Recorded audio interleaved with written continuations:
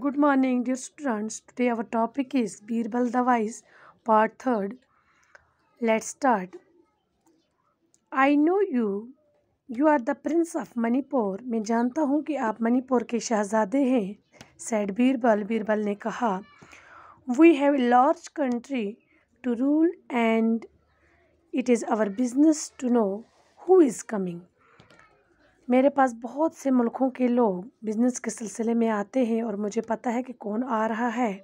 The government has arrange for your stay here तो government आपके रहने का यहाँ पे इंतज़ाम करती है। Surya Singh asked him. There is one more thing Surya Singh ने उसे कहा कि एक और बात चीज़ है। He said I would like to know how you decided my case मैं जानता था कि आप मेरा केस कैसे हैंडल करेंगे, मुझे यकीन था।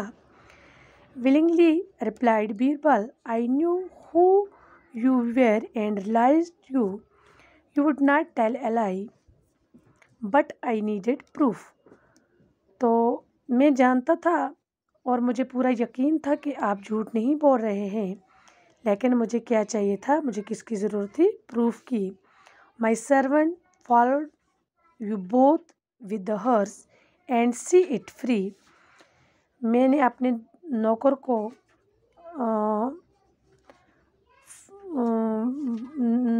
फॉलो, आप दोनों के पीछे घोड़ा मैंने अपने नौकर को बोला था कि इस घोड़े को इन दोनों आदमियों के पीछे छोड़ दो।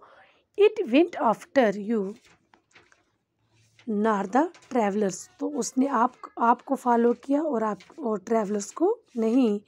Then again the travellers could not identify the horse in the stable but you had no difficulty तो एक तो घोड़े ने ट्रैवलर का पीछा नहीं किया, उसने आपको फॉलो किया। फिर ट्रैवलर ने स्टेबल में घोड़े को पहचान, नहीं पहचान सका तो आपको कोई पहचानने में कोई भी मुश्किल नहीं हुई। The prince was greatly impressed by Birbal wisdom तो ये शहज़ादा बहुत एम्प्रेस हुआ बीरबल की दहनाई पर।